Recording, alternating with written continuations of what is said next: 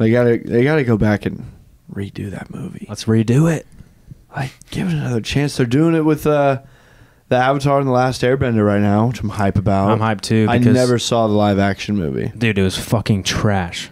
Yeah, I mean, I I think I remember seeing a trailer for it when I was a kid Yeah. and thinking, "Oh, this is gonna be bad." Well, I mean, first of all, they cast a bunch of like, eh, they called Aang Ong. Did they? Yes, it was some like weird looking white kid, and it's an anime. It's like all these kids are not white, Yeah. so they have actually good casting. The kid, I mean, it's gonna be probably kid. It's probably gonna be a little, you know, like it's gonna be a kid show probably.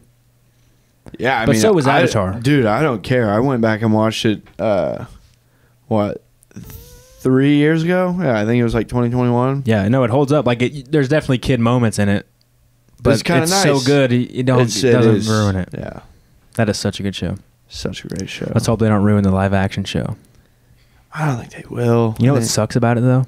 Mm. Is that we have to wait to watch the next seasons. We can't just binge it like we did the cartoon. yeah, We can only I see wonder- book one. yeah, and I wonder if they like end up changing anything at all, or if it's just verbatim. Well, the I've heard the creators of the original cartoon left this one. They left the production. So Of the live. yeah, so that's not a good sign. Oh, oh, okay. That's not a Great. good sign, but Who knows? I mean, maybe Yeah, they just whatever. really like disagreed. But anyways,